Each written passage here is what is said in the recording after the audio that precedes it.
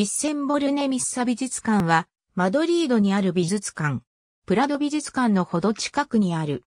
ティッセンボルネミッサ美術館の元となっているコレクションは、1920年代にドイツの鉄鋼財閥ティッセン家とハンガリー貴族、ボルネミッサ男爵家の流れを組む、ハインリヒティッセンボルネミッサ男爵が買い集めたものが最初である。その息子のハンス・ハインリヒティッセンボルネミッサ男爵は、近現代の作品にも目を向け、コレクションに加えていった。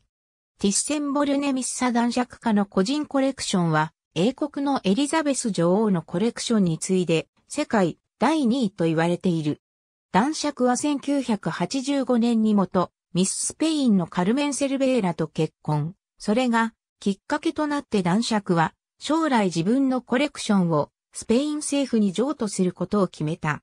ティッセンボルネミッサ美術館は、ボルネミッサ家のコレクションを借りるという形で1992年にオープンしたが、1年後にはそのコレクションはスペイン政府がすべて買い取った。男爵夫人は自身も著名なコレクターで、今でもこの美術館に関わっている。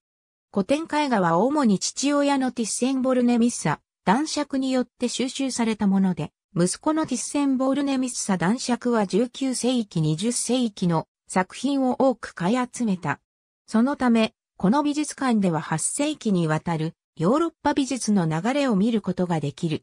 14世紀15世紀の重要な作品には、イタリアのデッチョ・デブ・オニンセーニャの作品や、ヤン・ファン・エーク、アルブレヒト・デューラー、ハンス・ホルバインといったフランドルやオランダ絵画がある。